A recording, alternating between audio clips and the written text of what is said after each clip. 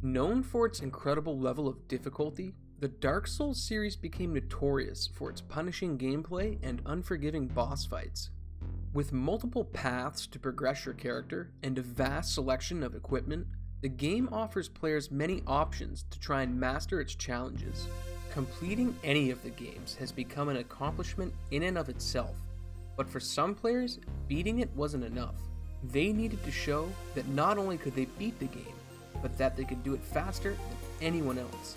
This is the history of Dark Souls 3 All Bosses.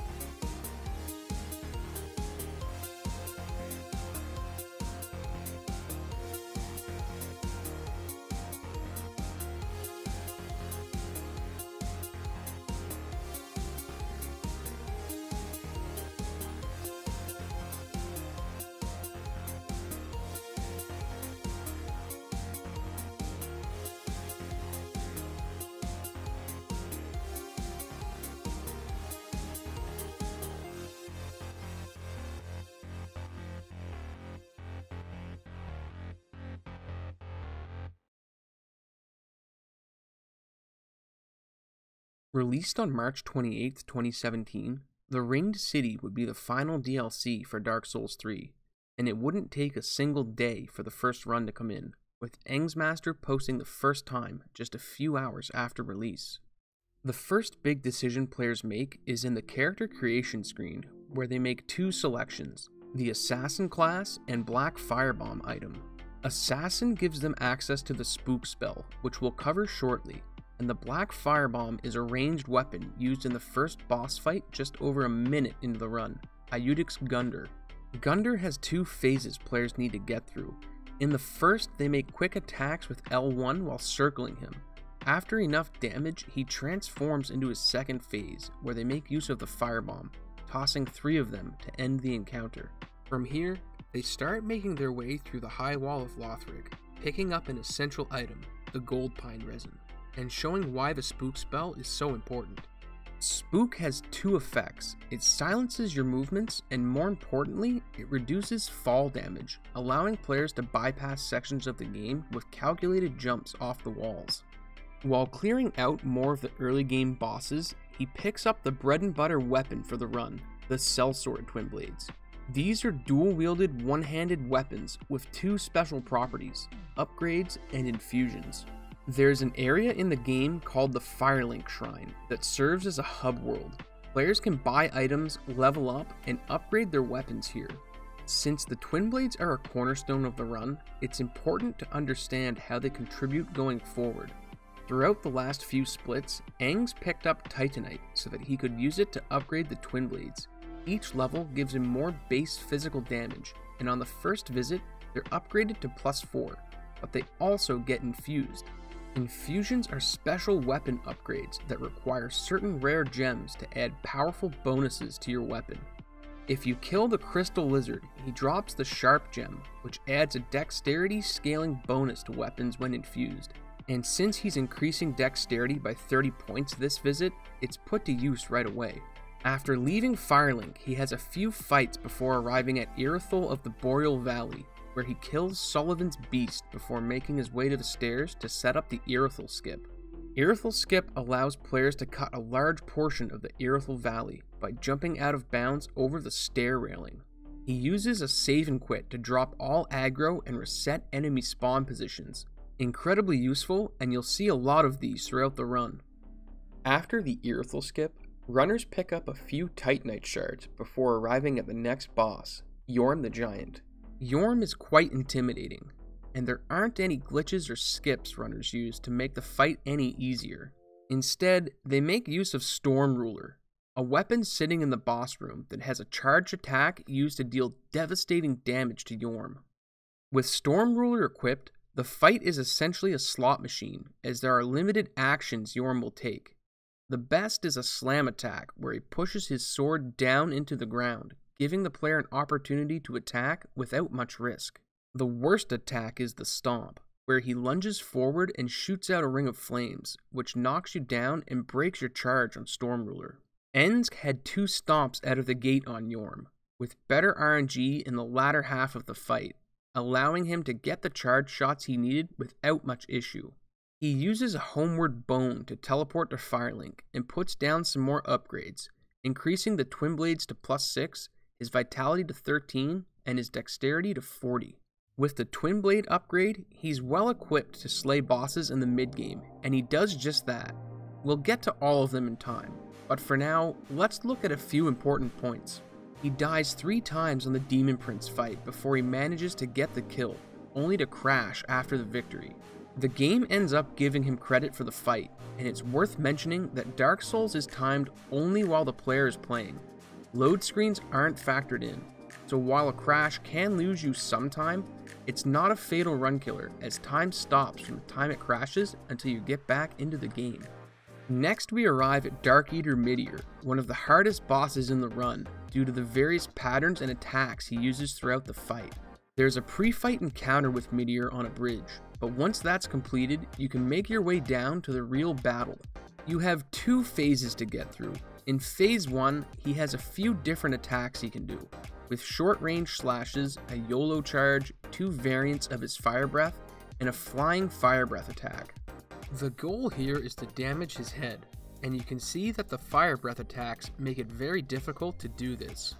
Ensg dies three times on this fight before he even gets to phase 2, but on the fourth attempt, he gets into the second phase, taking huge damage on the AoE attack as it starts. In this phase, Midir gets even more aggressive, with charging flame breath attacks and faster combos, putting the margin of error very low for players looking to get a quick kill. He gets damaged again and is forced to use his remaining Estus flask, then takes another shot, putting him to 2 HP as Midir charges away with more flame breath. If he takes any damage here, the fight is over, but with some nerves of steel, he gets through it and finishes Midir with a riposte. He dies six times on the next two bosses, to say that they're hard is an understatement, but we'll get to Gael and Half-Light a bit later. For now, let's look at the final two, Gravetender and Cinder. Gravetender is deep in the painted world of Ariandel, the first DLC, and luckily, there's a skip to get to him faster, aptly named Gravetender Skip. The skip utilizes the second ability the spook spell grants, reduced fall damage, and it combines it with a quit out, to allow the player to jump off a cliff and land on an invisible platform after loading back in. Once on the platform below, they walk up and fight the Gravetender, cutting out about 35 seconds of walking. Gravetender himself is a two-phased fight, one against him with four wolves, and a final phase where the Great Wolf joins him. GT is tricky since he can shield from your attacks and counter, and the second phase starts when he hits a certain HP level, meaning if you're not quick, you could be fighting two bosses at once. Ensg thinks he kills GT in his first fight, but he survived his attack with 1 HP, and to his surprise, the Arisen Gravetender hit him for a lethal attack after he went to focus on the Great Wolf. On his way back, he failed the Gravetender skip by not jumping and walking off the cliff instead, but he clutches the kill on his rematch and heads for the final boss, Cinder. To unlock Cinder, you need to offer up the souls of four fallen lords, previous bosses you've killed during the run. Each offered soul has a small animation, but you can cancel two of them by positioning yourself to fall as the animation starts, saving a couple of seconds. From here, there's a two phase fight between you and the end of the run, with Cinder's first phase consisting mostly of long, slow, swinging attacks that only combo for one or two hits. Phase 2 is much harder, where he gains speed and comes out swinging like Barry Bonds, longer combos, and quicker attacks. He has no trouble with this fight though, and completes the first speedrun of all bosses with both DLCs, clocking in at 2.15.02 on March 28, 2017. Master's run was good for a day one record, but a day is all it would stand for, with Daravae getting on a run the next day that improved on the record. His early game starts off good, but he forgets to grab the sharp gem from the crystal lizard and has to double back to pick it up, costing him a chunk of time. After correcting his mistake, he sets up for two big glitches the run depends on. The first being Farron Keep Skip.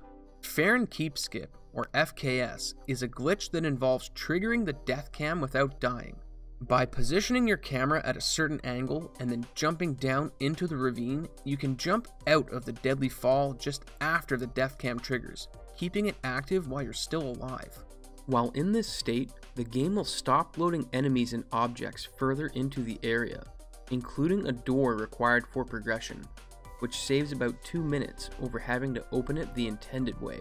You only have a few hostiles to dodge before things start getting broken, with objects and enemies failing to load as you run through the area unhindered, with the death cam watching you from below.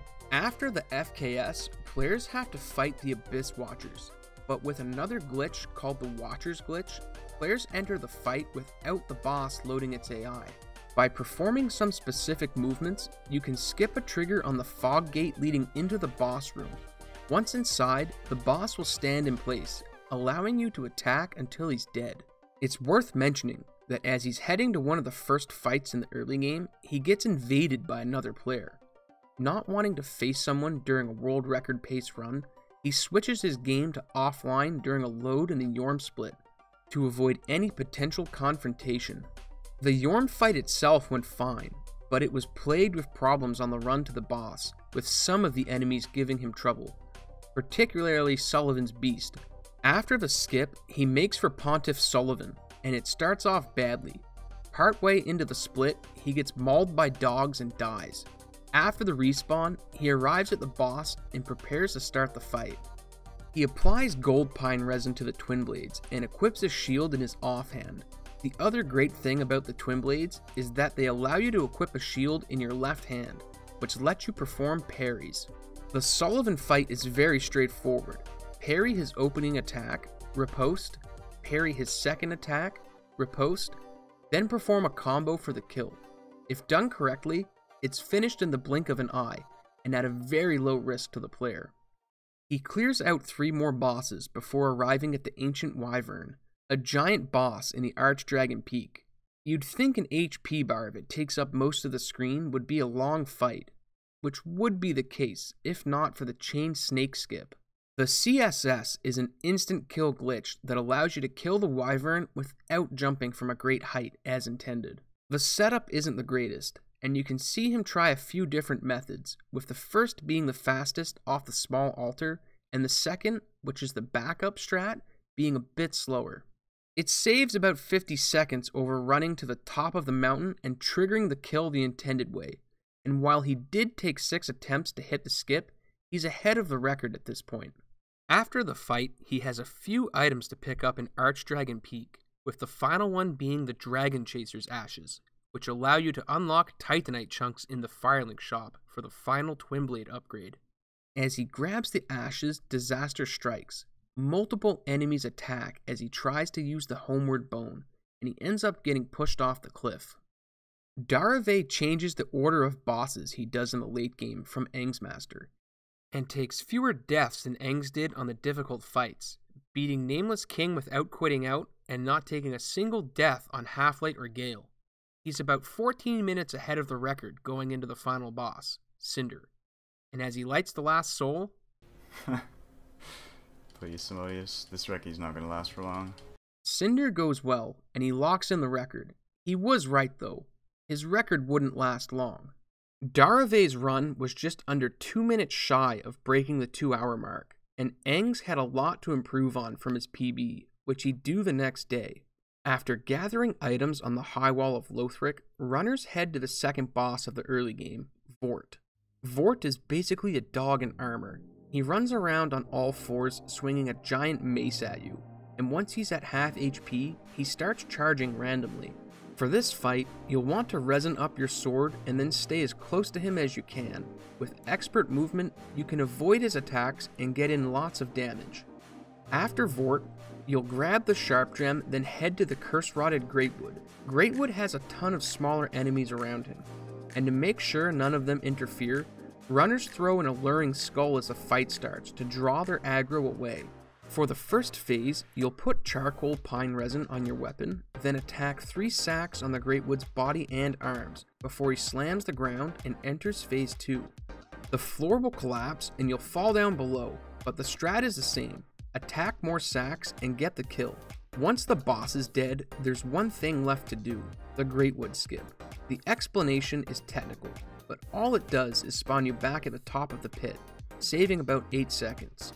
He opts not to go for the FKS, as it's not the easiest trick to pull off, which loses him some time. And heading to his first mid-game boss after Firelink, he takes an unfortunate death before continuing. Eventually, players will arrive at Sir Wilhelm, a non-boss enemy located in DLC 1, required for progression purposes. Getting to Wilhelm involves some tight navigating, but it's made a bit easier with Scream Skip, a jump into a cliffside that pushes you to the top, skipping a long looping path and saving about 40 seconds. Wilhelm himself isn't fought, rather, he's baited outside of his house and pushed off a cliff with a series of shield attacks, followed by a twin blade combo. Moving deeper into the mid game, he upgrades at Firelink before fighting Sullivan, and starts a very tough fight after a few more bosses Oceiros. The consumed King Oceiros is hard for a few reasons. He can offer patterns where you're forced to take slower strats, and his second phase has him charged sporadically, with a single charge, dropping your HP to just above zero. In the first phase of the fight, he gets an AoE ice spell that forces him to disengage, and as phase 2 starts, the boss charges away, losing him more time as he's forced to play catch up. He doesn't get hit, but the fight goes slow overall, saving 3 seconds but leaving a ton of time on the table. The rest of his run, he cleans up a lot of the mistakes and deaths he made from his PB, saving 40 seconds in the Nameless King fight and an entire 7 minutes on Demon Prince since he doesn't die a single time. Halflight and Gael both die on his first attempt, instead of taking 4 attempts on each. With his fantastic late game, the 2 hour barrier was smashed. When all was said and done, he clocked in at 144.55, a 30 minute PB, and a huge world record. Ensgmaster's run was good. With the route still getting figured out, it was the first that really showed how far the time could go with current strats, but a day after his 144, someone else would get a run.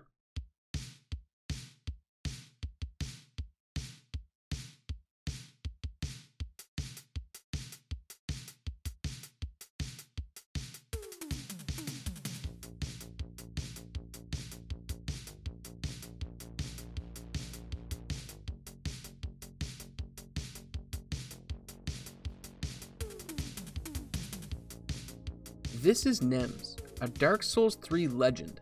He's held the record in every main category, and has been active in other Souls games as well, and it wouldn't take him long to get a run in after the launch of the second DLC. There are two bosses in the early game we haven't seen yet, so let's have a look at one of them. This is Wolnir. Wolnir may look intimidating, but the fight itself is very straightforward.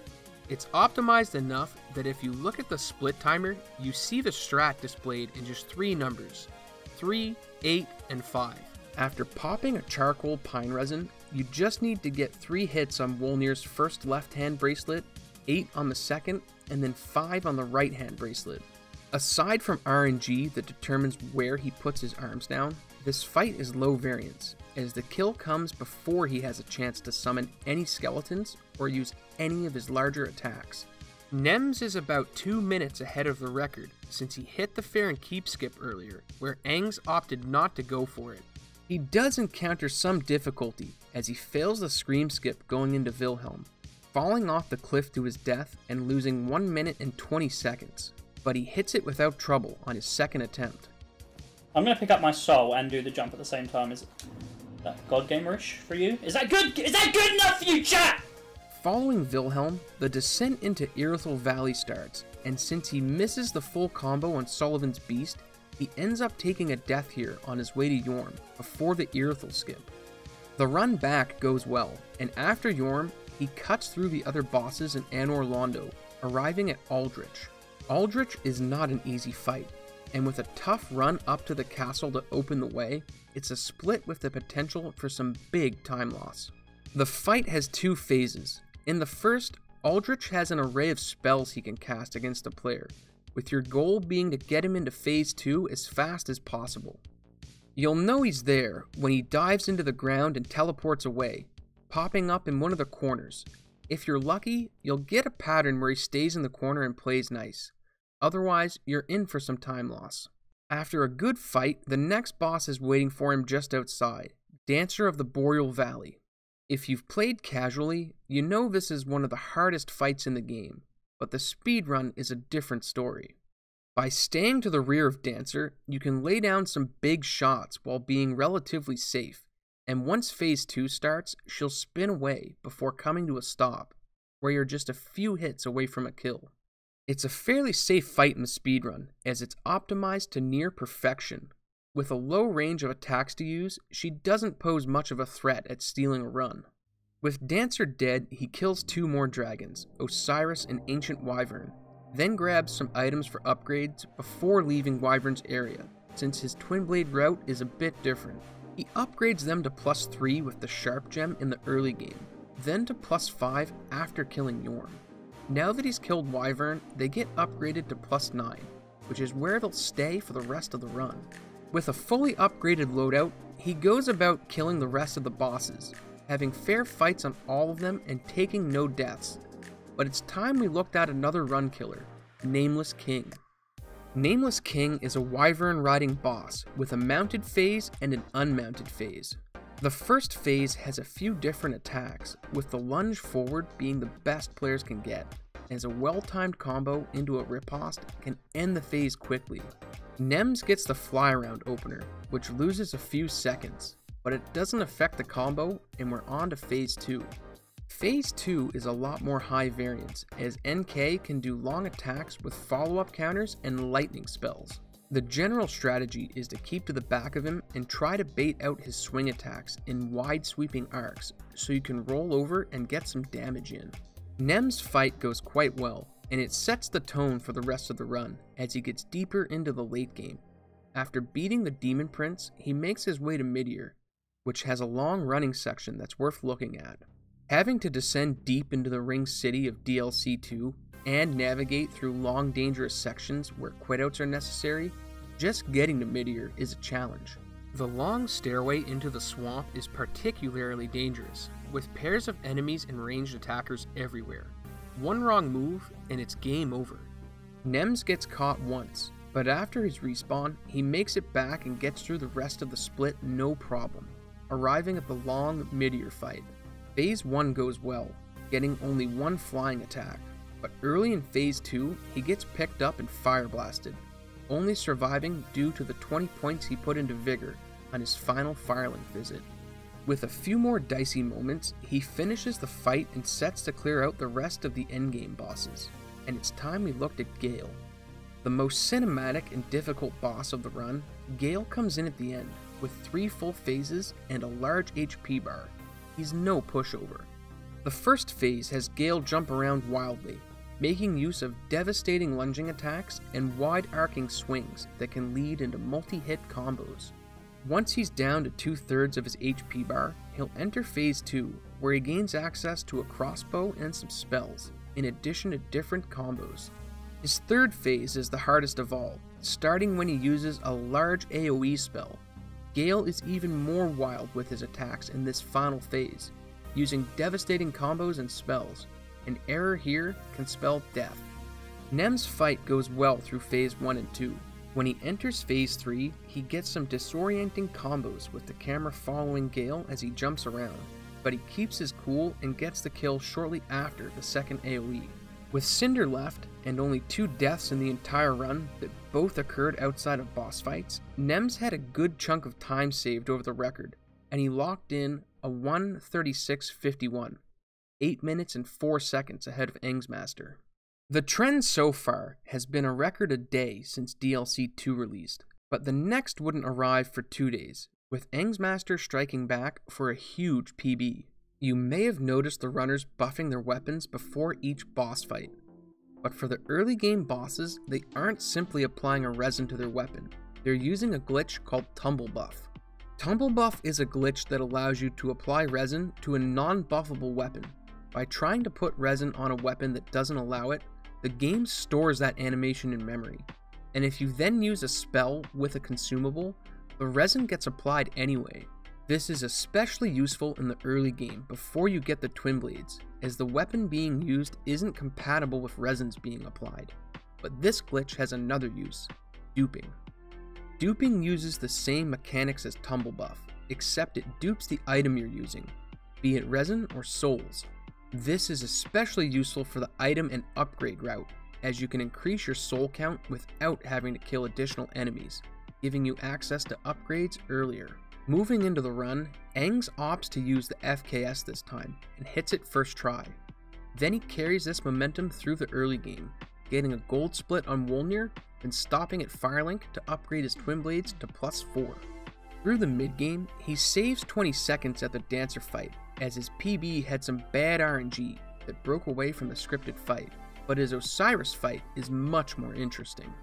He enters Oceiros with a huge amount of time to save and starts the fight off great, but disaster strikes as he goes for the kill. With his run on the line, he opts for a high risk kill after getting charged instead of healing, and clutches out the fight for a minute and 20 seconds of time save. They, uh, this thing could have not, just not hit and I would have been dead, really. He upgrades his Twin Blades to plus 10 before heading back into DLC 1 and confronting the boss that Wilhelm opens up, Friede. Another three phase fight, Friede comes out of the gate with a giant scythe and long, flourishing attacks. One of the worst things that she can do is turn invisible, as this wastes several seconds, which she does to Aang's right away. He follows up after her attack and ends the phase quickly for round 2. This phase is incredibly difficult, as Father Ariandel joins the fight with Friede. Armed with a giant cauldron and a fierce AoE attack, he's tricky to get damage in on as it is, and with Friede attacking and using frost spells, it's even worse. Once you kill Ariandel, Friede comes back for one more round. Now armed with a second scythe and whirling combos, she's capable of dealing massive damage, which force the player to disengage and heal if hit. Aang's encounters a lot of problems in Phase 2. When it's all said and done, he loses 17 seconds, but with a 2 minute lead, he's still very much ahead of his PB, and within striking distance of the record. Moving into the late game, he saves 3 entire minutes on Midir, cleaning up a lot of his mistakes. And then at Half Light, he has a fantastic fight against the notorious Time Thief, grabbing a gold split and extending his lead to 6.5 minutes. The route he is using swaps the boss order around a bit. Some bosses from the mid game were moved near the end, particularly the Lothric princes. Located at the top of Lothric Castle, you have a bit of a run to get to this fight, sprinting through a wyvern, the Grand Archives, and another long section before finally arriving at the Fog Gate for the boss. A two phase fight, you start off against Lorian, wielding a one handed greatsword and the ability to teleport around the arena as the fight plays out. Like most bosses, your goal here is to roll around to the back of him and hope he doesn't teleport away, as Phase 1 is mostly RNG. For Phase 2, his brother Lothric joins him, adding some spells and the ability to resurrect into the fight. Circling around the boss in this phase is especially important as you want to damage both bosses with your hits, Killing Lorian first will have Lothric attempt to cast the Resurrect spell, which is where you want to end the fight, as its success prolongs the fight greatly. He loses a bit of time on this split, mostly from the teleports in Phase 1, but he's so far ahead, a couple of seconds don't make much difference, and he goes to Old Demon King before heading to Cinder. There isn't much to say about ODK, he's a bit of a meme in the run. The most dangerous part of the split is the worm in the smoldering lake as you make your way to ODK, but even that isn't too deadly. With a quick kill on ODK and a huge amount of time saved on Gravetender, he's seven and a half minutes ahead. As Cinder falls, he hits a huge PB and a new world record of 133.05. With the record approaching the sub 130 mark, Ensg and Nemz would battle it out for who could lower it first, and just two days later, Ensgmaster would use an improved route to try and be the first to do it. Instead of taking the Black Firebomb at the start of the game, players now took the Fire Gem, as they could infuse it into the Short Sword to make the Fire Short Sword, which increases the damage you do on early game bosses. You take a small time loss on Iudex Gundyr for this choice, but the other bosses go fast enough that it's more than worth picking up. Despite this, his early game isn't fantastic, as he doesn't hit the FKS until his third try, and by the end of the Wolnir split, he's 40 seconds behind his PB.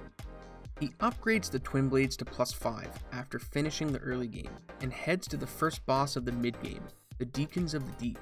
The route to Deacons is quite interesting, as you need to run through two giants on the way there, and if you couldn't tell, these guys hit hard.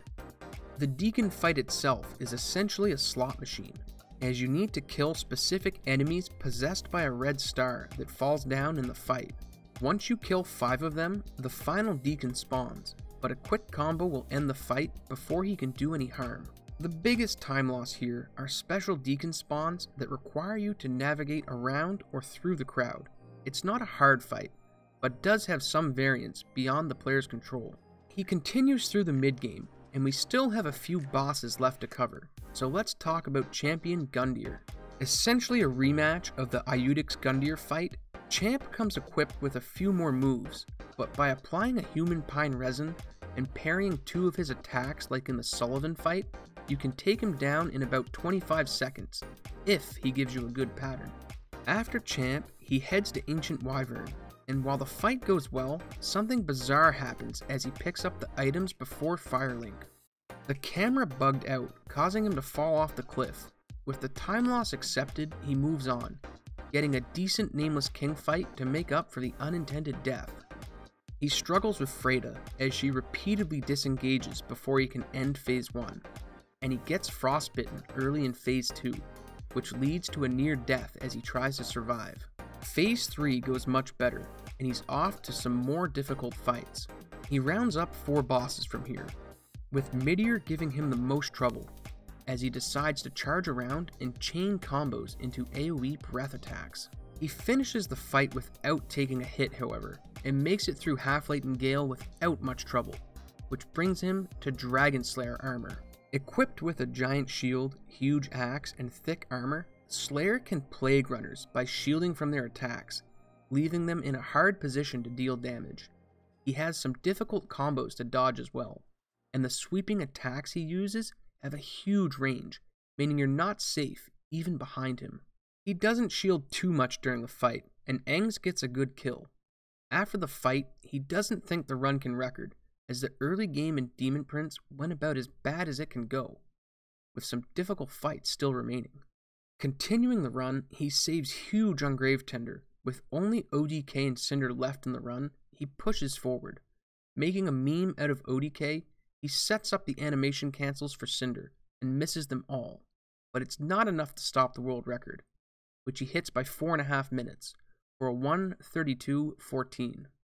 Ensgmaster didn't get the sub 130, but Nemz was still grinding runs, looking to complete a sweep of the main categories on the leaderboard and get the first sub 130. He'd set a record on the 5th of April of 131.23, but the video has since been lost to time, so instead, let's look at the Half-Light fight. One of the hardest in the run, it's a long drawn out fight with three stages. To initiate the fight, you have to kill Adjudicator Argo, at which point Guardian 1 will spawn into the room. You'll want to make quick work of the Guardian as Half-Light isn't far behind, and once he spawns, you're in for one heck of a fight. With quick combos, devastating spells, and the ability to roll out of your combos, Half-Light is one of the hardest fights in the entire game, if you couldn't already tell by the names players give his splits. During the fight, a second Guardian will spawn, and this can be catastrophic as Guardians have the ability to cast Healing Miracle, restoring a large amount of the boss's HP. The strategy here is to keep them both in your sight while you try and take out the Guardian first, unless Half-Light has enough lost HP to be killed quickly. That's really all there is to it. With a large toolkit to attack you with and the ability to escape damage, Half-Light is just an all-around tough encounter that inspires nothing but dread into runners. Nem's next run would take place on the 6th, and it didn't have the best of starts. He almost died grabbing items before Vordt, and then again before Wolnir, picking up the Grave Warden's ashes.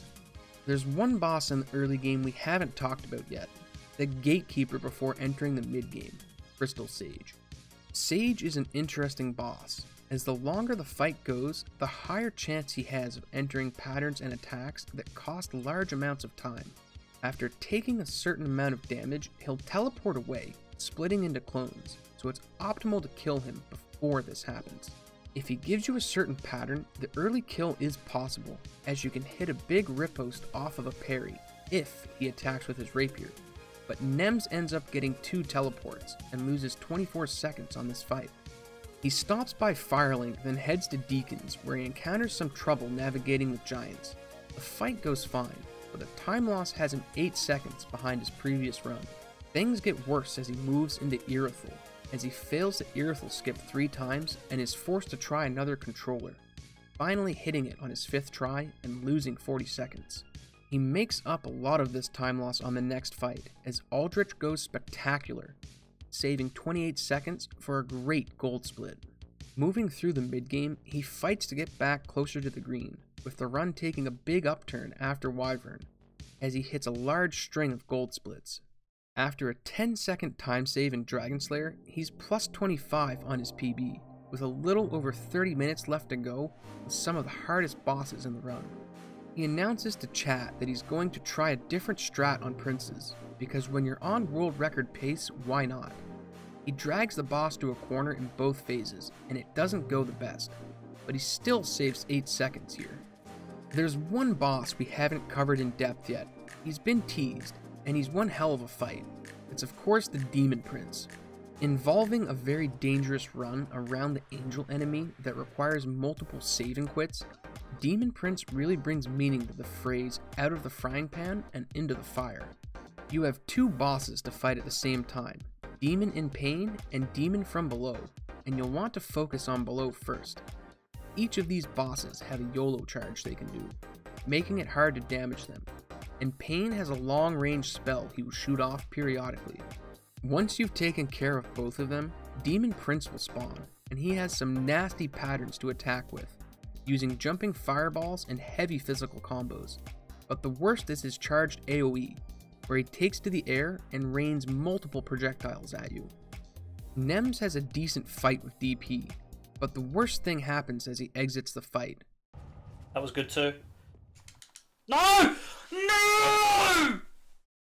This crash means he may have to fight the boss again, but luckily he was given credit, losing some time, but more importantly, keeping the run alive. His endgame isn't the best after this, with Midir and Half-Light each stealing time. He saves 17 seconds on Gael, but misses two animation skips in Firelink, meaning he needs Cinder to give him 14 seconds of time save, or the run is dead. As he hits the final shots, his time comes in 1:31:17. Small PB, but still world record. With the pieces of the route falling into place and the run getting more optimized, we wouldn't see records come in every day. But the next run Nemz got on wouldn't just be with an optimized route. He started off great, making use of a new strat on Greatwood, where you don't throw the alluring skull and instead pull off some specific movements to avoid the enemies. He steamrolls his way into a gold split on the FKS, but runs into big problems as he goes into Watchers, as an enemy lances him for a costly death, stealing 30 seconds. Going from minus 21 to plus 8 on one split in the early game hurts a lot, and Sage offers no parry during the fight, meaning he's in a 38 second deficit coming out of the early game. The very next split, he hits Scream Skip, then absolutely destroys Wilhelm for a gold, saving 40 seconds and being back in the green. His Oceiros split is a great example of why you need to upgrade your Vigor to 12 early, as he eats the charge in Phase 2, which would have killed him without the extra stat increase. Oceiros puts him back in the red from the rough Phase 2, and it only gets worse from here. He fails the Grave Tender skip on his first try and loses 35 seconds. But that's just the tip of the iceberg, because then this happens on Friede. Winning the rematch, he's 2 minutes behind PB, and with 20 minutes of gameplay left, you're probably wondering how he pulls off a record, as even hitting a gold split on DP has him still plus 146, the best possible time of 132.34. All hope would have been lost if it weren't for the lower partake skip. Recall that the run up to Midir is incredibly long, with a preliminary fight happening on the bridge. The lower partake skip cuts out half of this run and the fight on the bridge, as it allows you to drop down into the real Midir fight. The how of the glitch is complicated, but at its essence, the Locust Preacher has an attack animation that captures the player, and if the conditions are right when he sets you down, you'll fall through the floor out of bounds. You just save and quit at the right time, then run to the pit with Meteor, and then you're in the fight. Nemz gets an unbelievable pattern, getting Midir low enough that he's able to stagger and kill him after just one attack from the boss in Phase 2. Thanks to the lower partake skip, he saves just about 4 minutes and is ahead by 154. He gets a little nervous in the half-light split as he loses over a minute, but with two gold splits on Gael and Cinder, he finishes strong for a world record of 129.55 and the first sub 130. With a death before Abyss Watchers and another in the Friede fight, there was a ton of time on the table to take back, which is what he set to reclaim on his next run. He started off great, being even with the first few bosses before he nails the FKS and hits a clean run through to Watchers, claiming the 33 seconds from a death in his last run. Moving into the Boreal Valley, he finally hits the Irithyll skip on his first try, but has some trouble with a pack of dogs just a bit later and is forced to save and quit. When he makes it to Sullivan, the fight goes off without a hitch, and he's en route to Yorm, where he assures chat that he will achieve the world record today. I should be streaming all day today, so I should be able to get. I, I will. I will get a record today at least.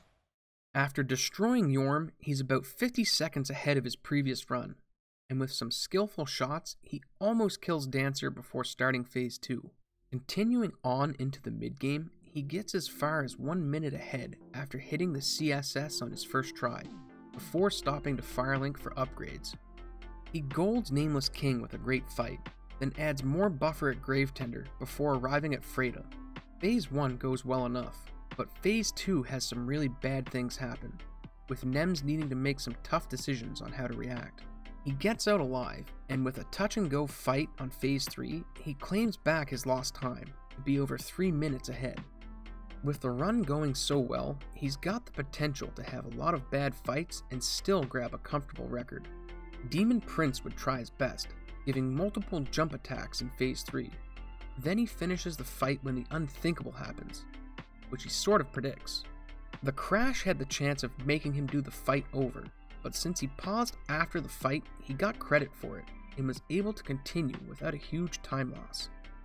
Now he's on to Midir, where the lower partake skip was waiting, and you might be wondering, if there's a lower, does that mean there's an upper?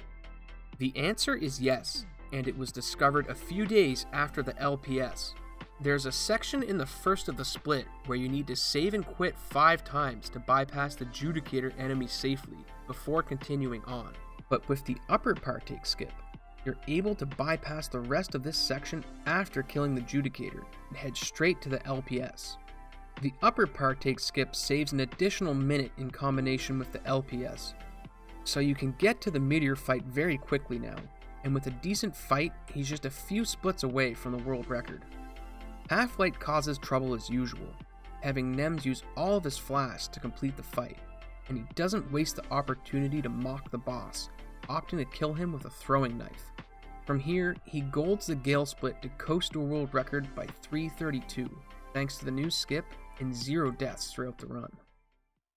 With the introduction of the partake skips, Nemz had pushed the record down by 5 minutes in just 2 runs, and with more time to save, things were looking good. There was a new skip that Nemz had tried and failed in his last few runs, and he'd set to work on doing attempts. But someone else had started the category as well. This is Distortion 2.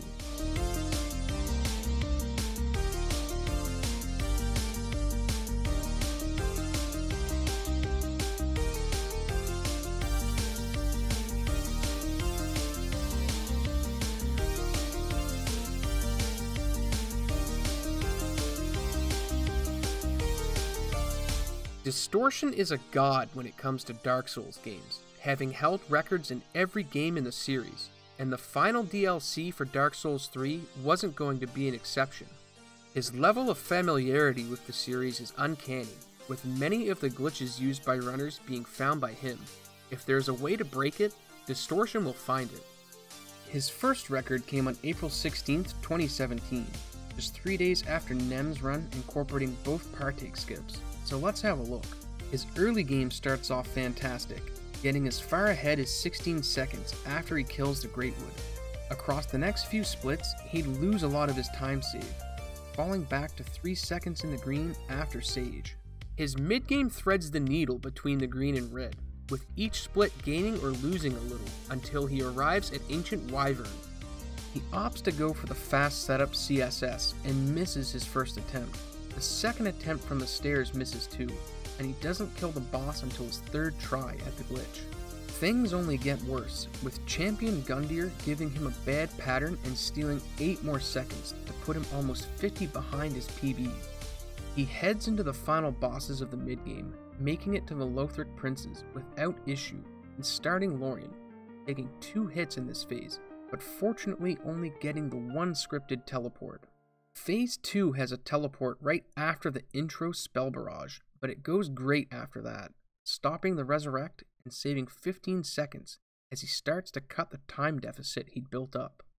A bad opening on Nameless King ends up costing him big, but with the Gravetender skip and fight going well, he more than makes it up, saving 20 seconds back before his final stat upgrades at Firelink.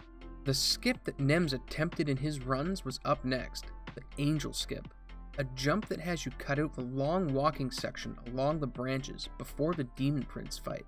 It's not the easiest skip to pull off, but the 40 seconds it saves is well worth the risk, and after Distortion hits it, he has an okay DP fight, which ends on the same crash that Nemz had, but you've probably guessed the run doesn't end here. With the massive time save, he finally has breathing room with the remaining four bosses, but he's not out of danger yet, with both partake skips and three of the hardest fights in the run. Midir goes great, and he golds the split for 12 seconds of time save.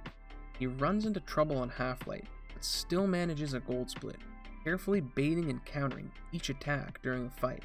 The run had picked up enough momentum that nothing was stopping it at this point, and with Gael stealing only 10 seconds, he finished the run at 125.36, beating Nemz by 47 seconds and taking his first records in the All Bosses category for the new DLC.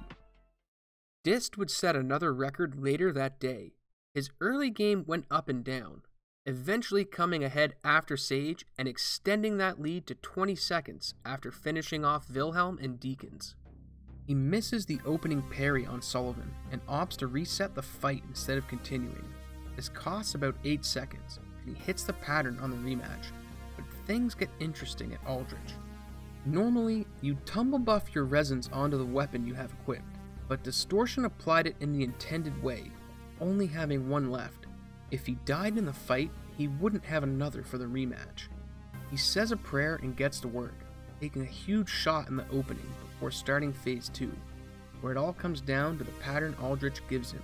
He dodges the attack from the first teleport, then gets a second. With a well placed combo, he ends the fight, saving 2 seconds in the process. Moving deeper into the mid game, he doesn't get the big time save he has on Ancient Wyvern, as he fails the first two attempts at the CSS, but he has flawless execution on the champ fight and keeps up the momentum going into the Nameless King. Not everything would go fantastic. As he finishes the mid game, GT steals 8 seconds from him, and Friede is worth having a look at as he enters the endgame. For Phase 2, runners try to focus on Ariandel, as he's easier to hit and dodge, which means you want Friede to leave you alone for this part. By throwing a knife as the phase starts, you can draw her to the other side of the room and focus on Ariandel mostly uninterrupted. Distortion didn't have his knives equipped for this phase and had to adapt to a harder fight, engaging Ariandel with Friede in close proximity. With some difficulty, he gets through the phase and finishes the fight, losing only 5 seconds despite the grave error. He hits Angel Skip on his first try, and from there, the run finishes itself, golding the DP and Gael fight, giving him more than enough buffer to grab record, despite a bad Cinder fight. It would be a few days before Dist had another run, with his last one being just a small improvement and still having 40 seconds left on the table in the Wyvern fight alone, the sub 125 was well within reach. Getting into the mid game, things were going well enough. Not making the tumble buff mistake on Aldrich saw him 8 seconds ahead and he killed the Devourer of Gods. The interesting thing that happens in this run is the strat starting to develop on the Dancer of the Boreal Valley. Normally, runners get as much damage as they can on Dancer, then wait out the deadly phase 2 combo before finishing her off. But Dist had another plan. Instead of standing idly by out of harm's way, Dist found some narrow safe zones inside of the combo, which allowed him to get a hit in while she frenzied. He misses the follow up shots and kills her after the combo finishes, but the concept was proven in a run. It would just come down to who could execute in the future. Moving through more bosses, he gets to Archdragon Peak, where there are 40 seconds to save over his last run. You might remember the CSS being tried off of the small altar at the back of the fight. While this method can work, the success rate is very low, as it requires the boss to enter a specific pattern. This doesn't deter Distortion, however, and he moves to set up the fastest version of the trick,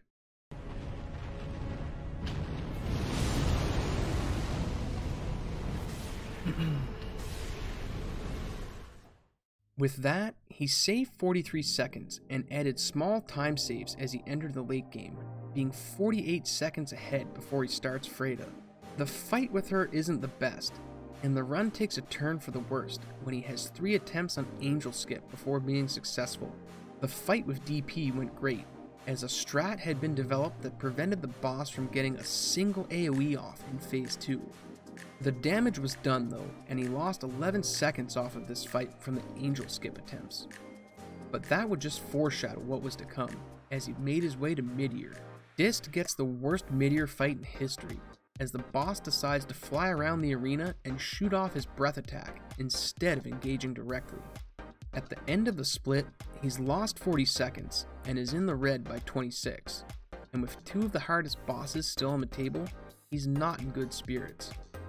I'll continue the run just for the hell of it, but yeah, the run's over, unfortunately, guys. I, it's actually over. Like, I'm, I'm gonna be behind now. Half-Light starts off normally, with Dis managing to lay down heavy damage before the second Guardian spawns, cutting his time loss by 22 seconds, and leaving the run largely in the hands of Gael. If the sub 25 is happening, he needs him to cooperate. The first two phases go phenomenally, and it appears as though Gael is going to let the record happen. But deep in Phase 3, he gets a second AoE and decides to hang back instead of going for the kill. Unsure if this was the right call, he finishes the fight, saving a few seconds to be just 0.3 behind his PB, leaving Cinder as the final hurdle for the record and the sub 125.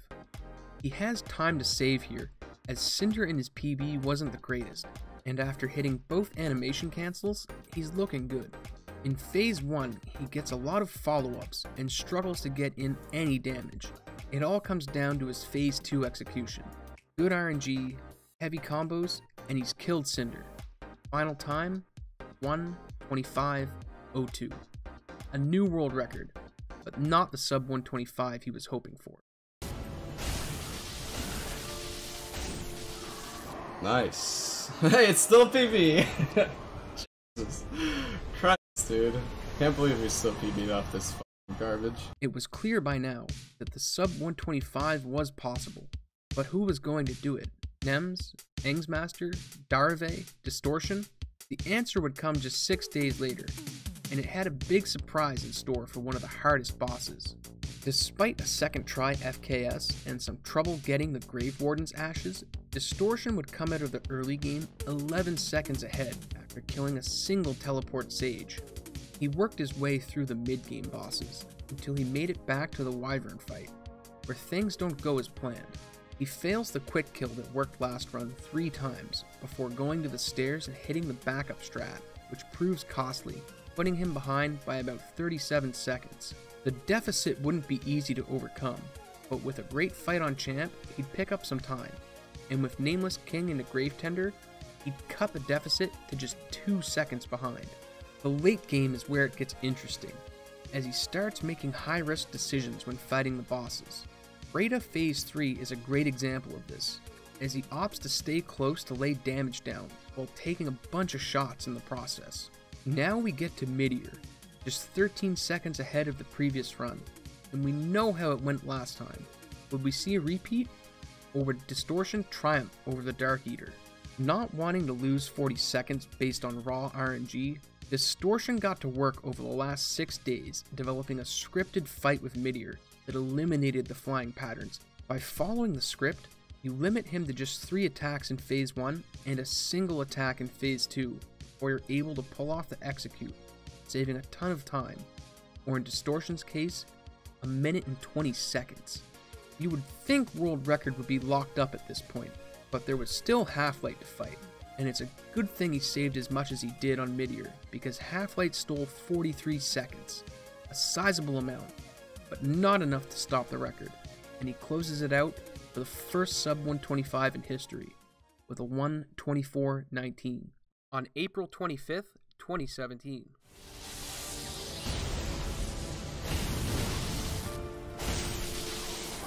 Nice.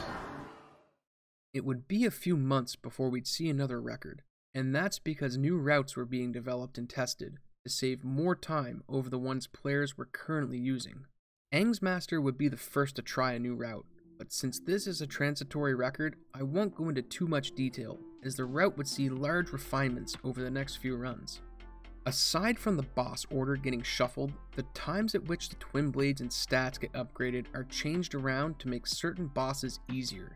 It can be said that the boss order changed to accommodate a better upgrade route.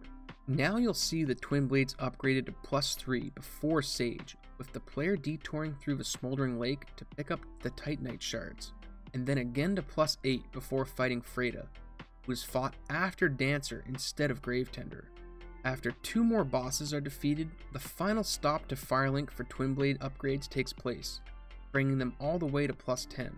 Once two more bosses are down, you make one more stop for the last stat increase of the game, then head off to finish the 9 remaining bosses.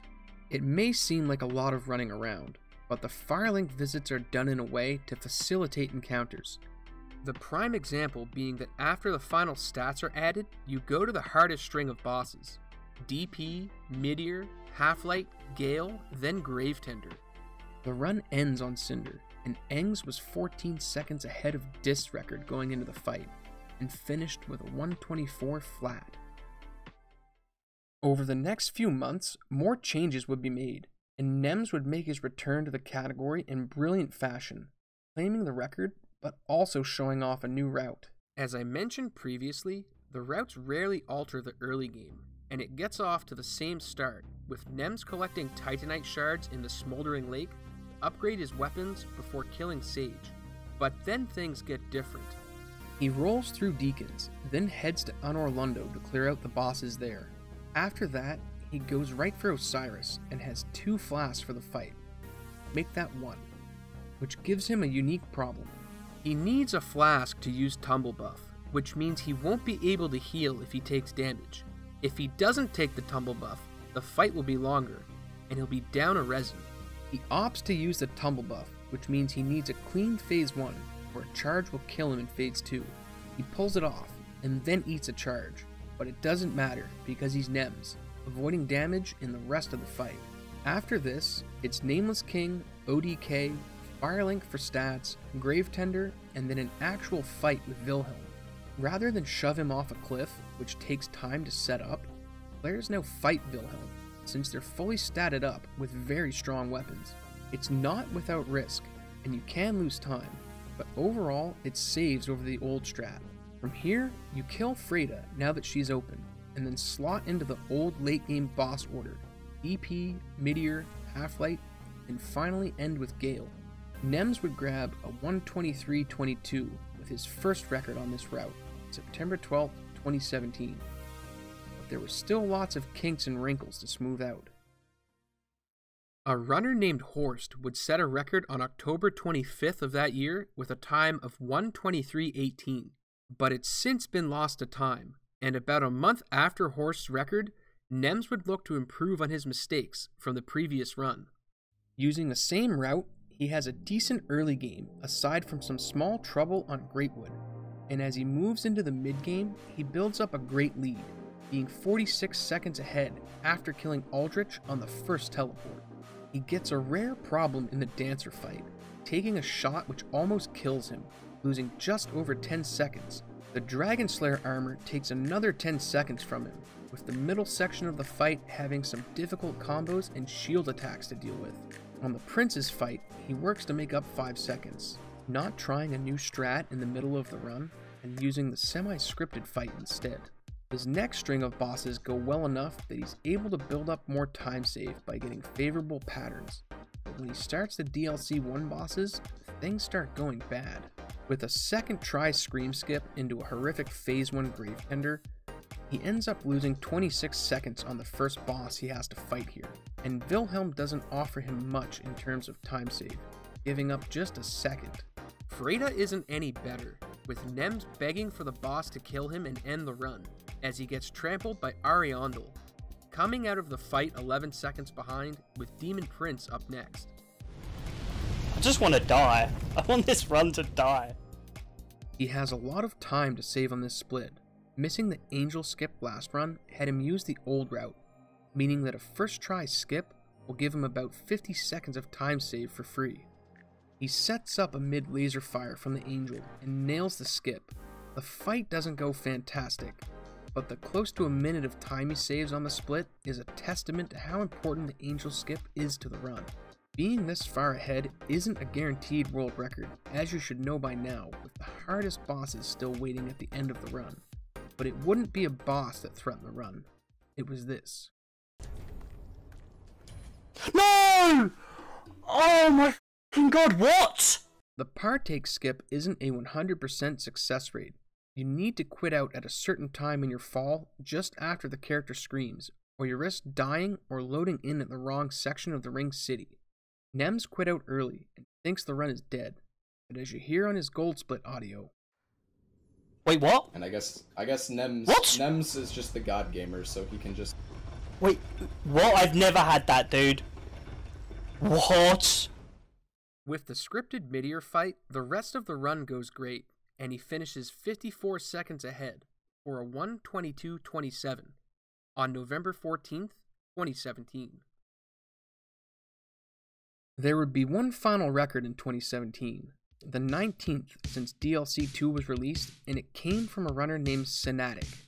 Exclusively a Dark Souls 3 runner, Sin was very familiar with the game, and it was just a matter of time before he put his mark on the category.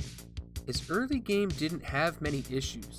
He made use of an alluring skull to clear the bridge on his way to the Abyss Watchers before arriving at Sage, where things take a turn for the worse. He struggled to bait out the attack in order to set up the parry and loses a bunch of time. It only gets worse when Sage hits a teleport. Overall, he's plus 22 coming out of this split, putting some pressure on for the mid game. He cuts through some of the red with good splits on Deacons and Sullivan, but Aldrich is another story, narrowly avoiding death on the run to the boss and then getting two teleports in the fight to come out plus 25 overall. His luck starts to turn around when Oceiros charges a wall and gets stuck in phase 2, letting him make up some time before making his way to the Lothric Princes after Firelink. Despite getting two teleports on phase 2, he saves a lot of time here, and the run sees its first foray into the green since the early game. It's a battle to stay ahead over the next few bosses, with each fight seeing him gain and lose, tipping the scales of speed in either direction. He gets to Nameless King, and the run tips back into the red. And when he arrives at Champ, things get worse, as he misses the combo and almost dies by getting trampled. Despite having to retry the Scream skip, the DLC 1 bosses start off fantastic, with the GT skip and fight going great, to be back in the green by about 7 seconds. Friede in his PB was horrible, and he saves big here with good execution to put him 52 seconds ahead. With 3 skips and 4 bosses left, He hits every skip first try. Angel skip first, then both partakes after a prolonged Phase 1 DP. He saves another 40 seconds with the scripted Midir fight, and he's looking unstoppable. Halflight and Gael both give up some more time, and he hits a huge PB for his first world record in the category, with a 1:21:41 to close out 2017. It wouldn't be long in the new year before Nems plowed through another run, and on January 9th, he'd do just that. There's not much to say about this run, other than he cleaned up his final two boss fights with Halflight and Gael, saving huge amounts of time on each boss from execution alone. It wasn't without trouble, as he needed three tries to hit the Irithyll skip, getting a strange pattern from Phase 1 Dancer.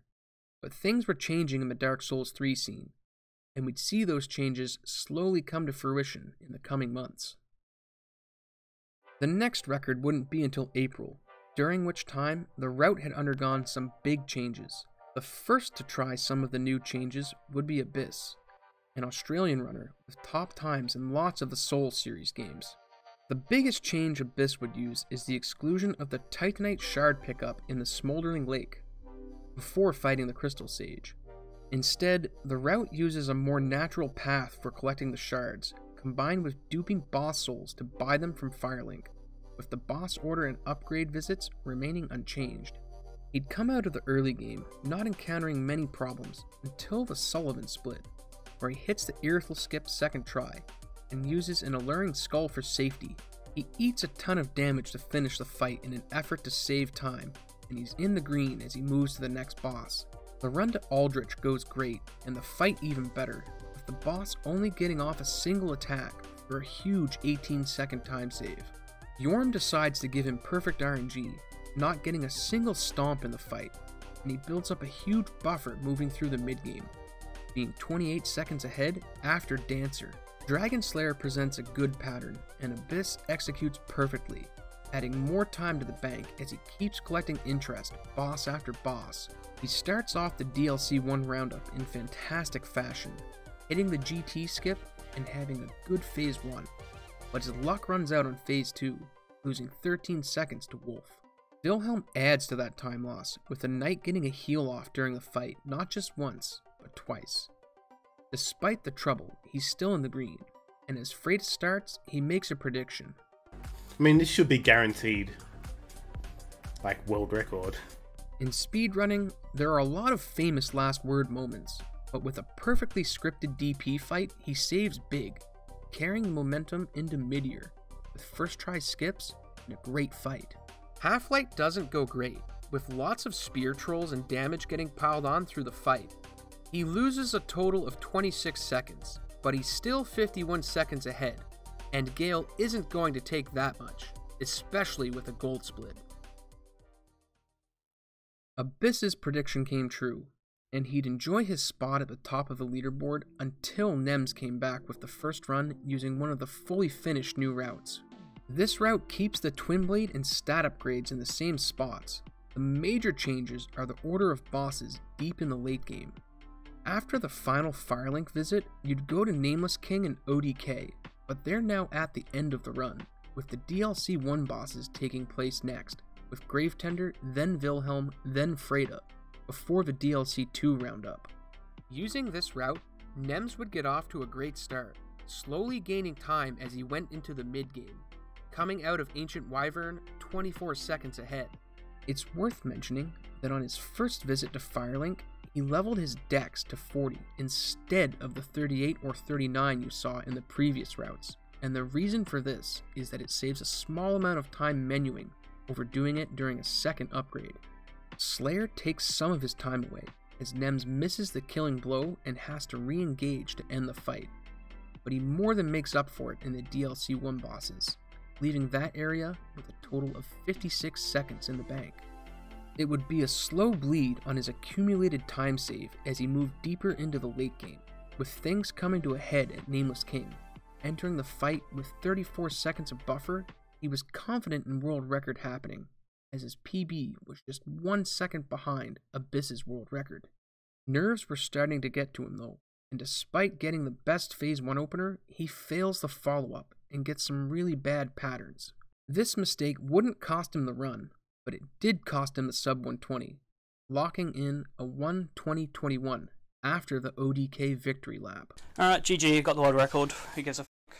A month later, Nemz would come back to the category to correct some of his mistakes, and it started off great, being 5 seconds ahead after the Vordt fight, a lead which he would keep until Sage, where a spell would cost him 3 seconds. A lead wouldn't start to develop until he was about halfway through the mid game, when he was gearing up for the Dragon Slayer fight. With his miss killing blow from last run, he has some time to save in this fight, but it doesn't get the start he was hoping for, with an early disengage happening. Getting desperate for a good Slayer fight, Nemz goes for the high risk kill and almost dies. And moving in front of the boss has him queue up for an attack instead of a backslash Eddie moved behind him. Overall, he lost 8 seconds in this fight to be just 2 ahead, with 4 bosses left before he even enters the endgame. He cuts through some of the deficit from the Slayer fight, making a running save on the Lothric Prince's fight to stop the revive in Phase 2 to keep the run alive. The run was looking really dark at this point, and Friede starts off with a troublesome Phase 1. But Ariandel goes flawless, and she keeps close to Nemz in Phase 3, which limits the combo she'll go for to smaller ones. Losing 6 seconds in this fight, he's off to Midir and Half-Light. Despite getting hit by a nasty combo in the Half-Light fight, he does manage to save time, entering Gael just 14 seconds behind, and managing to save 3 more seconds over the course of that fight, leaving Nameless King and ODK as the world record hurdles. Last run, NK went about as bad as it can go, but Nemz wasn't going to let that happen this time, as good execution alone meant he'd have a small world record. He gets the fast pattern in Phase 1, then hits the execution strat flawlessly, but Phase 2 is another story. It's like the game can sense when Nemz is on a world record pace run, as it sent every lengthy combo that NK has at him. Eventually, he gets hit by an AoE strike, then opts to go for the execute into the kill, which is slower, but does stop the boss from throwing out any more combos. He saved an amazing amount of time on this fight to be 26 seconds in the green, which is more of a testament to how bad the fight went last run. He does the victory lap and locks in a 119.51 on June 10th, 2018. He hit a 119.28 just 8 days later, but this was purged in the Twitch DMCA sweep. It was largely just an improvement over his fight with Wilhelm, but something was changing in the route, and one of the splits was about to be overhauled in a huge way. 16 days later, there was a big discovery in the route that cut out one of the worst sections of the game. If you recall back to one of the first routes we went over, there was one optional boss fight that was required in the run. Here's a hint he rolled out of four combos in a previous run. That's right, Wilhelm. Required to access Friede, Wilhelm was a terrible encounter since he could cast spells, roll out of attacks, and heal himself. But no more. Found by Peachy Mike and expanded upon by Distortion, the Wilhelm skip does exactly what it sounds like. It skips Wilhelm.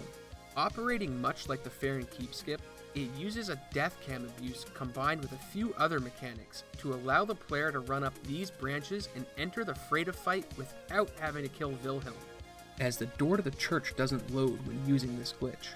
It's not the easiest skip to execute, as you have giant crabs at the bottom that can block your way, enemies on the branches armed with arrows. But the risk is worth the reward, as a successful Wilhelm skip saves over a minute. The first run with the skip has been lost to time, with Nemz hitting a 118.47, but his next run would come just three days later, so let's have a look. The Wilhelm skip also coincided with another route change. Instead of doing the DLC 1 bosses all in one go, Gravetender was moved to just before Nameless King at the end of the game, since it didn't make sense to detour for him before the Wilhelm skip into Friede. This became known as the plus 4 route, as you upgrade your Twin Blades to plus 4 at the first Firelink visit, along with only increasing your dex score here. At the next stop after Wyvern, you put them to plus 9 and grab 29 endurance before hitting them a final time after the champ split, plus 10, with Vigor going to 20. This means you're fighting Oceiros without a Vigor upgrade, So, to deal with the chance of getting a one hit kill, runners equip the Assassin's Armor, which leaves you with a small amount of HP if you get caught in a charge. Nemz's run on July 7th was incredible to watch. Coming out of the early game, he was on a mission to push the new skip as far as it could go. He gets perfect Yorm RNG and saves a huge 20 seconds, as his previous fight had a stomp that resulted in a cycle loss. Moving deeper into the run, he finally gets a decent Dragon Slayer fight, saves him 2 seconds, which sets the tone for his fight against the Lothric Princes, where he nails a huge gold split. At this point, he's built up a huge time save, and as he arrived at the Wilhelm skip, he said it himself. Okay, time for the easiest skip in the game.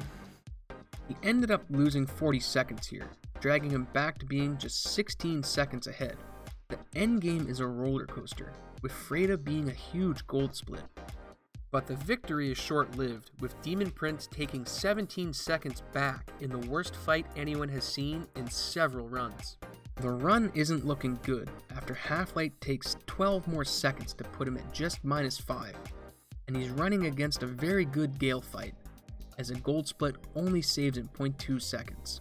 Cinder, Gravetender, and NK are the serious fights left in the run, and he saves some time back on Cinder, not enough that a bad GT can't steal it. He enters phase 1, and GT blocks two shots, but before disaster can happen, Nemz finishes the fight and makes quick work of the wolf to gold yet another split, before dropping this line. Imagine I didn't up Partake and uh, Wilhelm skip. this would have actually killed the category, I don't give a shit.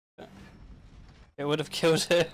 He saves one more second on NK before the victory lap and locks in a 118.17. But his run wouldn't stand for long. Someone else started doing attempts.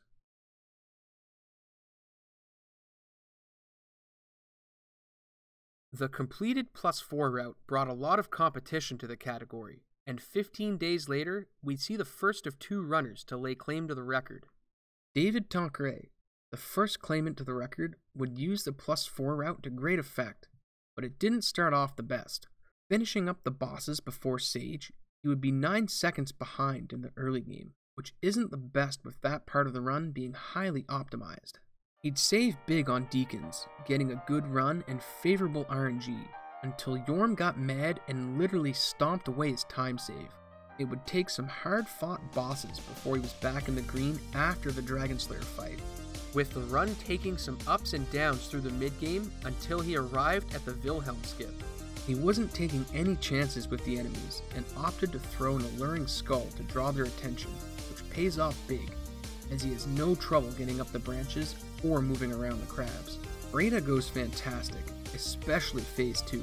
Instead of drawing Ariandel to the corner, he runs up and destroys him, getting a great pattern in lieu of using the regular strat, and finishes the fight minus 12 with Gold Split. DP is another story, where he loses time to a second try angel skip followed by a bad phase 1 with the two demons bleeding a bit more time. After all is said and done, he's half a second in the red.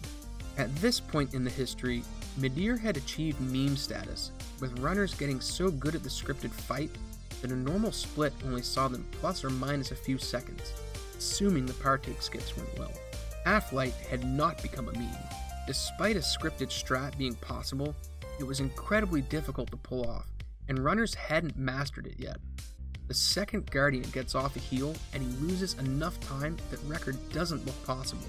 At this point, he has Gael, Cinder, GT, and NK left for bosses. With 11 seconds separating him from record pace, it's not an impossible task, but not a position you want to be in, as each boss has the power to take more time than he's already behind.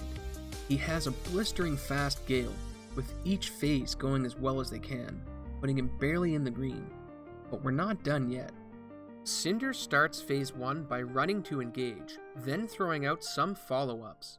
Phase 2 starts with a Barry Bonds combo, but David goes full aggro in an attempt to save time. He saved 20 seconds on Cinder, then went on to gold the GT split, putting him to minus 35 and about even with Nemz. Once again, a world record was in the hands of Nameless King. He narrowly hits the stagger in phase 1, getting the attack in the last second. After a shaky start in Phase 2, he hits some well timed rolls and avoids all damage to finish the fight just a second ahead of Nemz. He runs the victory lap to ODK and locks in a 7 second world record with a 1:18.10 on July 22nd, 2018. A week later, and 23 days after the Wilhelm skip was discovered, Nemz would get a run that improved on his previous mistakes. If you look back, he lost 40 seconds on the Wilhelm skip, had a second try upper partake, and the early game had some spots for refinement. He'd hit a PB where he picked up some time save in the early game, but had a few disasters in the mid game, having a bad fight with the Lothric princes and almost dying to Dragon Slayer. Slayer was one fight he just couldn't catch a break on. He cleans up his Wilhelm skip and gets 30 seconds back, and hits both partake skips first try before nailing a gold on Half Light to be a minute and 40 ahead. And despite a bad Gael fight, he says, Yeah, it's not even finished yet. I can lose like another 30 seconds for free. He almost did lose his free 30 seconds and ended up with a world record 49 seconds ahead of his PB, with a time of 117.28 on July 30th, 2018. It would take a few months before the next runner took the record with the plus 4 route, and in November of 2018, we'd see the last record on the route as it was. This is Coltrane 25.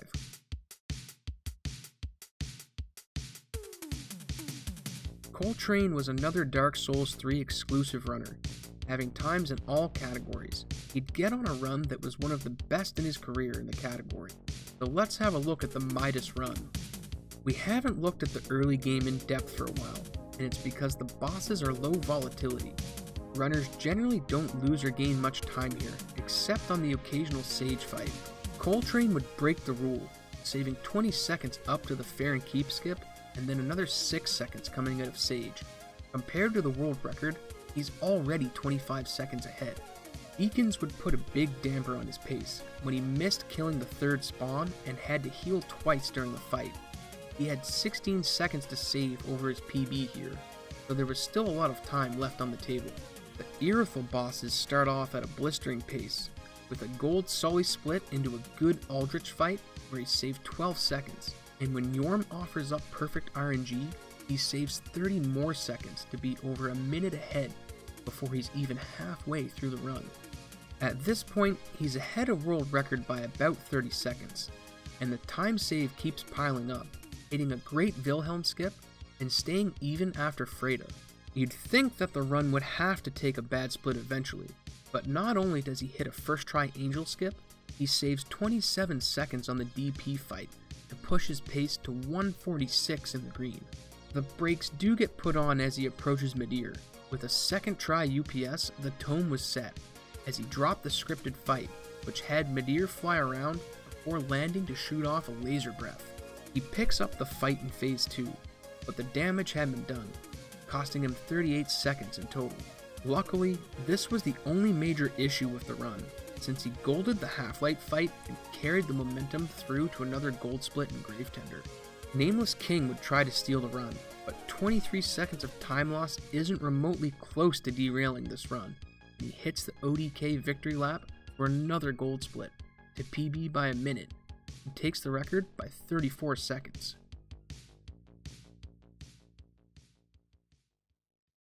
Coltrane had the Midas touch, achieving six gold splits in his record run and breaking the 117 barrier. The next record would be the last of 2018, and it would get closer to the 115 mark as Nemz once again picked up the mantle. But he had a new trick in his bag this run.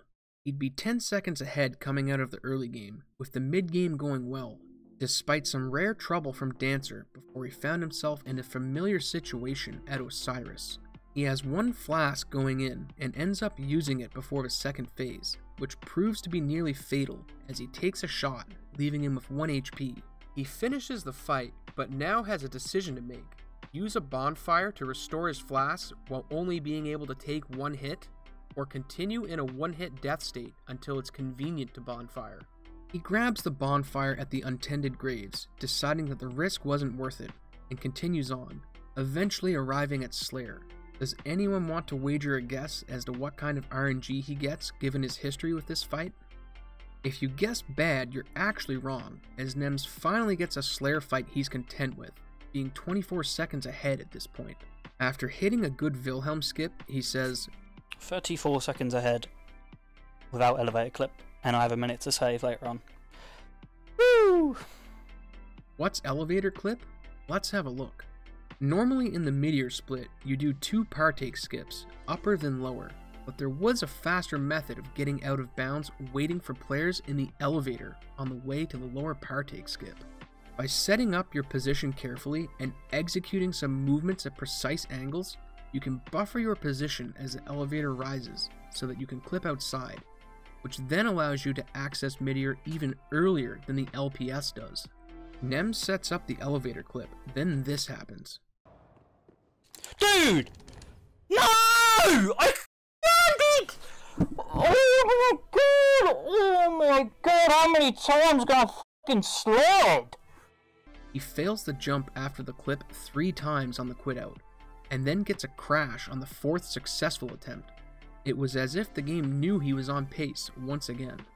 With the 37 seconds of time save this provided, despite the three failed attempts, plus some more gained in the last few bosses, he locked in a world record of 116.19 on December 15, 2018, the last of the year and the first using the elevator clip.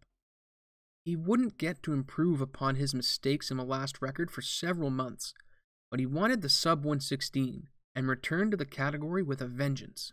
Things in the early game wouldn't go his way, however, running into problems on two of the running sections before stabilizing on the Sage fight. But the damage was done, and he was plus 18 coming out of the early game.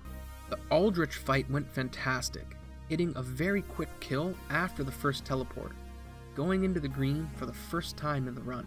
From here, he accumulates time save on just about every split, and when he comes to the elevator clip, he misses it once, twice, and finally hits it on the third try, losing 20 seconds on attempts. He was far enough ahead that he could still grab world record even after Half-Light took 18 more seconds, especially since he had a near perfect Gael fight, with the run finishing at 1:15:59, just one second below the 116, but not the record he was looking for if you listen to his post-run commentary. That run was so okay, I lost a lot of time on Half-Light, a lot of time on Midir. So 40 seconds alone on Midir. And then I lost, I was 20 seconds behind in the early game. Them splits going to be so nice to run against.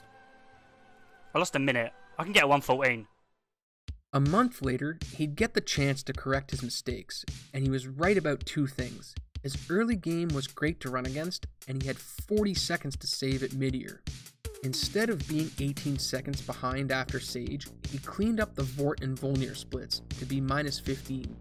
But a few bosses into Irithyll, he encounters disaster against Aldrich, eating a huge shot in Phase 1, which leads to a second teleport, losing 12 seconds in the process. He receives another time loss from a small error, teleporting to the wrong location, which cost about 10 seconds. But his Prince's fight had something happen that no world record had seen in history. Normally, for Phase 2 of the Prince's fight, you want to circle behind them to try and limit the number of teleports they do, but there was a faster strat. If you can get the bosses to spawn while you're in a certain position, they will never turn around as long as you only damage Lothric. The fight ends when you kill Lothric, so fortunately, you don't need to kill Lorian in Phase 2. It's hard to pull off in the regular fight, and this strat is rare to see in a run, hence why this is the only record in history where it happens. From here, he golds the Wilhelm skip and keeps the momentum into a gold Friede fight, with great first and third phases. Demon Prince has him save 2 seconds despite a second try Angel skip, and there were definitely time saves to be made in the fight, as both Phase 1 bosses had a YOLO charge. Now we're finally back to Midir, and only two skips separate us from the fight. UPS is hit flawlessly, and as Nemz approaches the elevator, he performs the setup and clips through first try, then makes the jump down into Midir, all in one shot for a huge 35 second time save. At long last, Nemz had a run where he hit all the major skips first try, with the exception of Angel Skip. The remaining bosses in the late game were tough, but not tough enough to steal the run, as he finished with a time of 115.23 on October 2nd, 2019.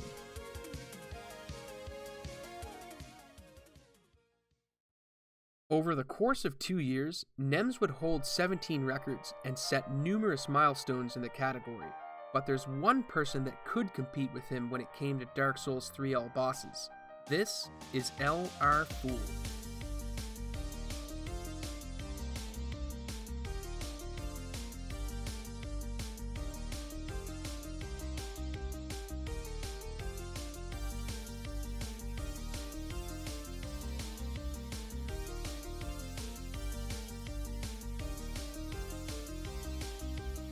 Foole is a well known Soul series runner, with top times on Bloodborne and Dark Souls, in addition to multiple records in Dark Souls 3. In November of 2019, he'd set his sights on the All Bosses category, and he'd come with one of the other routes being worked on, the plus 6 route. It shares a lot of similarities with the plus 4 route, except for two key differences that both occur in the mid game. The second Firelink visit occurs much earlier, taking place after Aldrich, where you put the Twin Blades to plus 6 and increase the Vigor stat. The significance of the plus 6 may not seem readily apparent, but in a Dancer fight it shows its strength, as you're now able to kill Dancer in the Phase 2 opener instead of waiting for the combo to finish. The other change it has is on the boss order after Oceiros. Instead of fighting Wyvern, Firelink number 2, then doing Slayer, Lothric Princes, and Champ, it has you fight Champ, Slayer, Princes, then Wyvern, after which the routes sync up, where you hit the final Firelink visit before the endgame.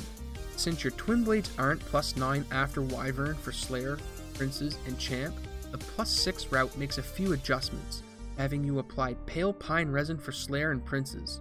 And since you're lacking considerable firepower for Champ, he requires an extra riposte. With his first record using the plus 6 route, Foole would demolish every boss and hit every skip first try, saving a whopping 22 seconds on Nameless King alone, and grabbing the first sub 115 in the process, with a 114.57 on November 16, 2019.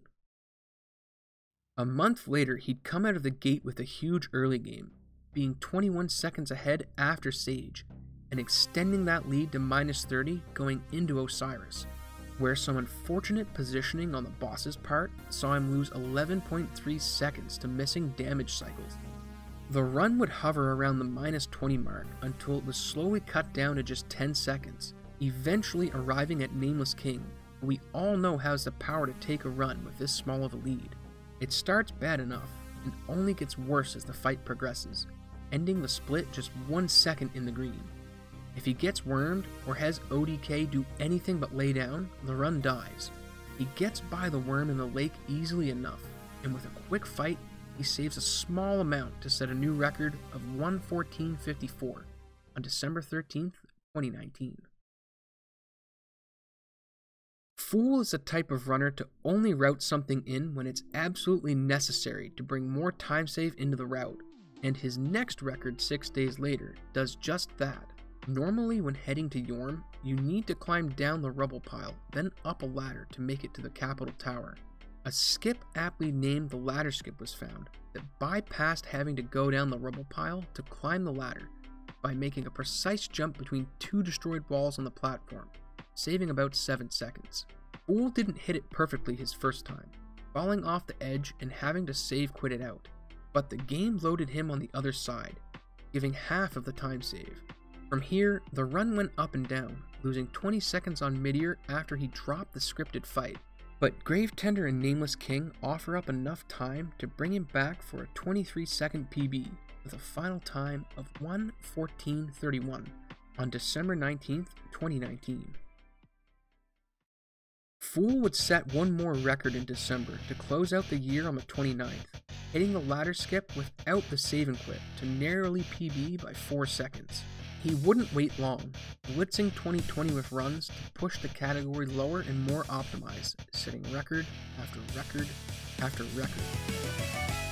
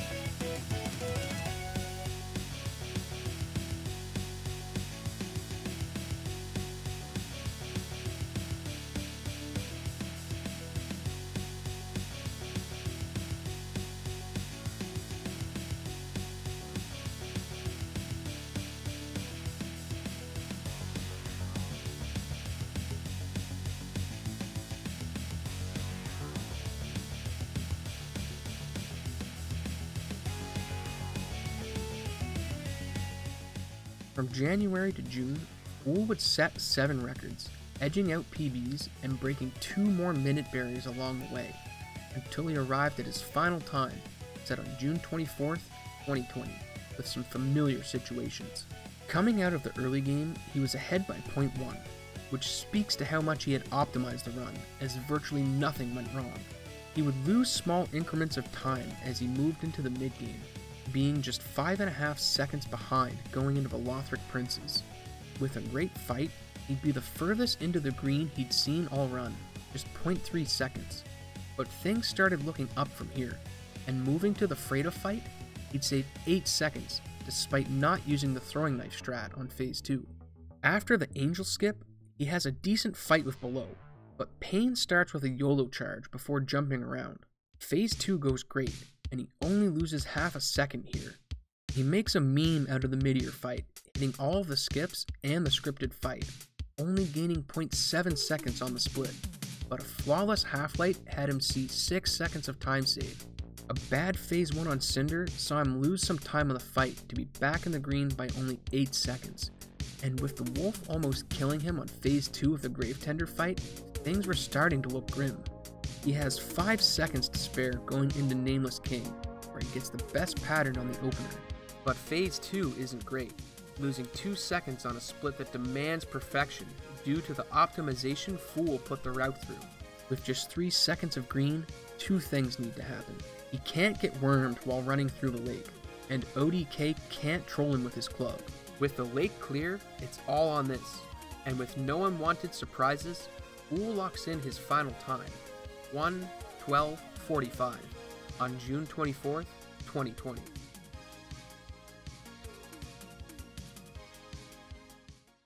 Despite only being released three years ago, Dark Souls 3 has 44 records in the DLC 2 era alone, with the vanilla game and DLC 1 adding another 79 combined records to the history. But those are stories for another time. With many glitches and optimizations found along the way, it has one of the richest histories of a game with such a short time on the market, and it's all possible thanks to the dedicated community running and routing the game. The story surely isn't over for Dark Souls 3 or the series, but for now, we'll just have to wait and see what's next to come. Thanks for watching. Hey guys, I'd like to thank Nemz and Matt Apocalypse for consulting on this video. It was a lot of work, and you should go check them out, as Matt is actively running the game, and Nemz is about to return from a hiatus, and it wouldn't have been possible without either of them. Be sure to follow on Twitter for the latest updates, or subscribe on Patreon for sneak peeks at what's next in the pipeline. Until next time.